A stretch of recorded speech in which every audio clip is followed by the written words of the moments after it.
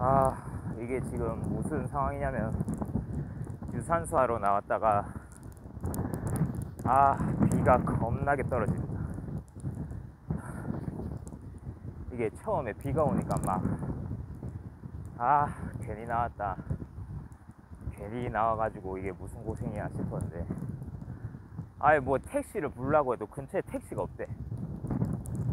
그래서 그냥 비 맞으면 되지 하고 그냥 약간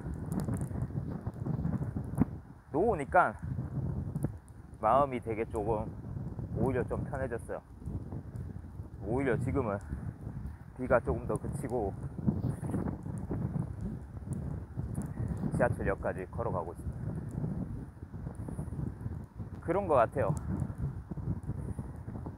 이게 그냥 어려운 상황이 생기면 그냥 답이 없고 힘들고 짜증나고 그런데 오히려 그냥 놓고 그냥 목표를 향해서 그냥 가면은 그냥 오히려 좀 마음이 편해지고 그리고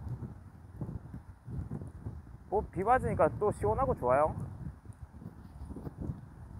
그래서 그냥 이런 상황을 한번 남겨보려고 영상 한번 찍습니다. 아, 상쾌하네요.